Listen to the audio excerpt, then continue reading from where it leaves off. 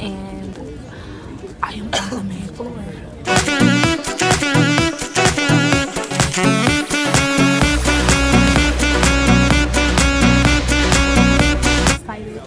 I'm doing spoken word today um, at the Palace of Auburn Hills where the Pistons play Detroit basketball. Now, next month marks the 50th anniversary of the Selma to Montgomery March of 1965. Woo. For those who might not know what that is, in the 1960s, the right to vote was supposed to be for everyone. However, local government agencies would intentionally put certain restrictions and certain qualifications on this right to vote. I say black history, I say uh, history.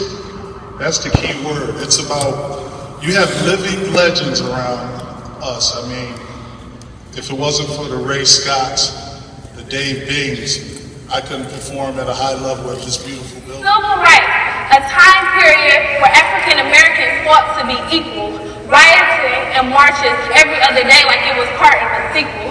New legislation was passed, but we couldn't see change. But the black man, he stayed strong. Our connection remained the same. Detroit, the city of hope. That's why the immigrants came. Nightclubs and black-owned businesses is how we made a name. But the white man broke us up. Black bottom demolished because of urban break, a reconstruction to split apart the black community. Because apparently Chrysler Freeway and Lafayette Park was more important than us. But 50 years later, we're still blaming our oppressor for our oppression. But young brother, young sister, it's time to sit back and ask, is it me? They told me I was free, but I can't help but think of the morals that they enforced into me. Still walking around with my head slumped between my shoulders like I'm hanging from a lynching tree. Did you forget the dream? The dream that came from a king principles that we enforced into our queens. The dream that helped end discrimination and segregation. The dream that allowed a black man to run our nation.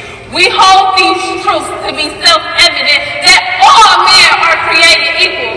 So it's time to live up to the meaning of this creed because Dr. Martin Luther King was not murdered at the expense to not see us succeed. Coleman Young, he did not build this city up for us to tear it down. So it's time to stand up, young brother, young sister, rejoice and let freedom ring.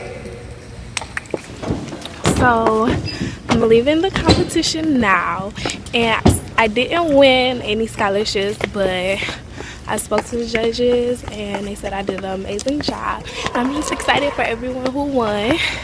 So shout out to everybody. They gave us Tim Horton gift cards. I'm like, yes. Four tickets to the game with VIP passes. I'm like, yes, yes. And then they, they gave us, these stairs are killing me. Oh my God.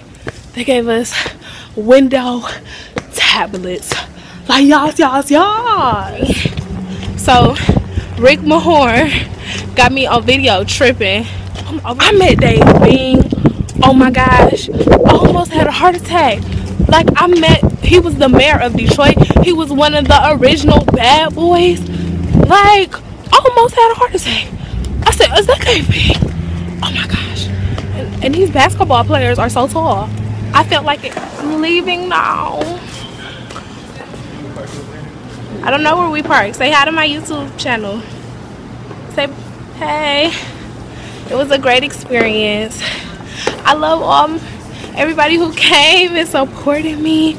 Oh my gosh, the love was unreal. The way when they called my name in the way you prep cheer, I was like, oh, I love you guys.